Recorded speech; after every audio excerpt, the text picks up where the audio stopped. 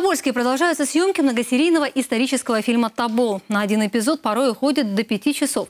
Напомню, участие в съемках принимают местные артисты и просто жители города, для которых настал их звездный час.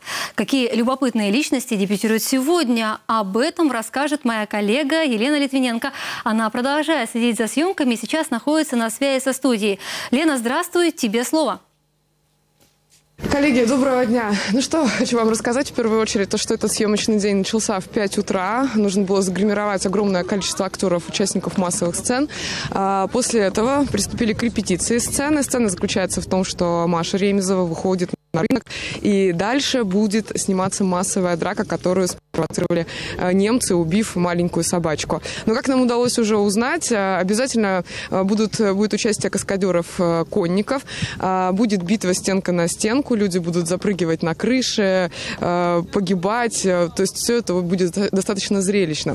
Но большим сюрпризом для нас стало еще и то, что здесь на съемочной площадке в костюме присутствует Владимир Мазур со своей семьей. Естественно, мы не упустили такой возможности и записали с ним интервью, и вот что он нам сказал. В кино мы снимаемся впервые, но роль наша э, показать жизнь того времени, э, когда были великие э, походы в Сибирь наших предков, когда было правление князя Гагарина и Семена Ремезова.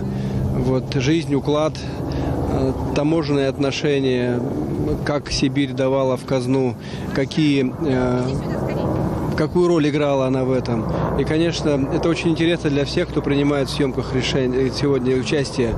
И э, думаю, что всем участвующим это будет память, а вообще для истории это очень важно, для сегодняшних времен, когда искажения есть исторических фактов, а мы по архивам воспроизвели вот ту жизнь, тот уклад, который сегодня здесь на площади показываем, в этом фильме будет демонстрироваться. Ну а мы остаемся здесь в Тобольске для того, чтобы продолжать снимать и радовать вас новыми материалами, которые, надеемся, скоро выдадим уже в эфир. Коллеги? Спасибо, Лена. Мы тоже с интересом следим за процессом и ждем новых подробностей.